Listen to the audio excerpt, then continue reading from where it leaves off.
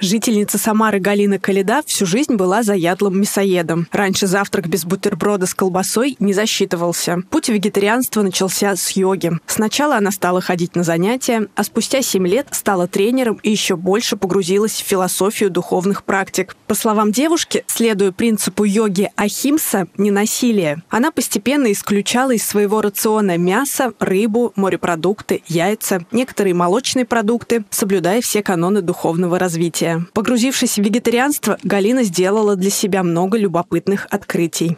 Это достаточно разнообразная еда. Это, возможно, а, когда и сама только начинала, тебе кажется, а что тогда есть, да, если вот, например, ты не будешь кушать мясо, если убрать мясо, а, останется там рис, картошка, макароны, что ли. Но нет, по факту, если просто погрузиться в это, очень много всего интересного. И для меня а, вкус по-другому, вкус блюд по-другому раскрылся. Например, мой муж готовит шикарный вегетарианский плов, и в такие вот моменты понимаешь, что это не вкус, а, э, не вкус мяса, например, делай его таким вкусным. Это вот какие-то специи или другие продукты. Антон, супруг Галины, рассказывает секрет того самого вегетарианского плова простой. Вместо мяса – шампиньоны. По его словам, подмена основного ингредиента только добавляет блюду изюминку и никак не уменьшает его вкусовых качеств. Сам Антон от мяса не отказывается, но вегетарианскую философию супруги поддерживает. Я совершенно спокойно к этому отношусь, меня это как-то сильно не трогает.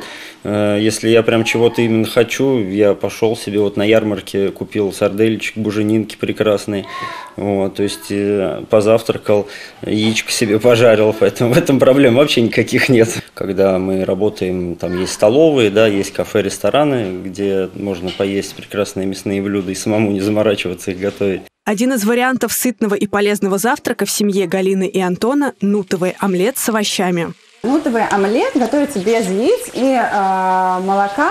Нут полностью заменяет белок. Омлет, ну, потому что мы его разводим в водичку, он получается жидкий.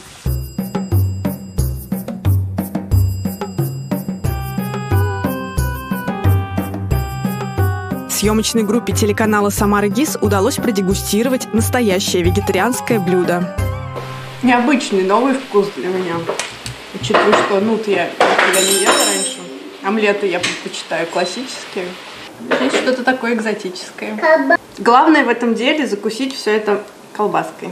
Колбаса на самом деле тоже оказалась растительного происхождения. Врачи отмечают, вегетарианская диета позитивно сказывается на здоровье человека. Снижается риск сердечно-сосудистых заболеваний, атеросклероза, подагры, нормализуется холестерин в крови, снижается риск онкологических заболеваний желудочно-кишечного тракта. По словам медиков, во многом это связано с тем, что вегетарианцы, как правило, не только следят за своим питанием, но и в целом стараются вести здоровый образ жизни. Однако диетологи обращают внимание вегетарианцам вегетарианцев на необходимость следить за разнообразием своего рациона и рекомендуют раз в год проходить полное обследование организма. В любом случае появляются дефициты, дефициты по белкам, по аминокислотам, что может привести к различным видам анемии.